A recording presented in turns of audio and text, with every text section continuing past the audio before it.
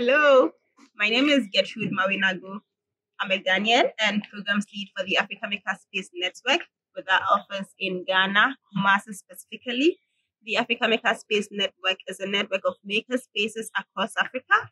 Currently, we have about 27 spaces from Ghana, Nigeria, South Africa, Ethiopia, Botswana, Malawi, and some other um, countries on the continent. What AMN is trying to do is to bring together these maker spaces under one umbrella for capacity building purposes, for growth, for collaborative stuff.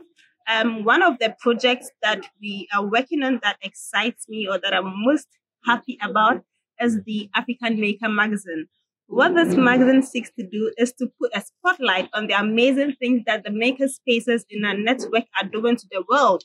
We need to show the world what they are doing. They are doing a lot of nice, interesting, innovative stuff, but unfortunately, no one knows about it.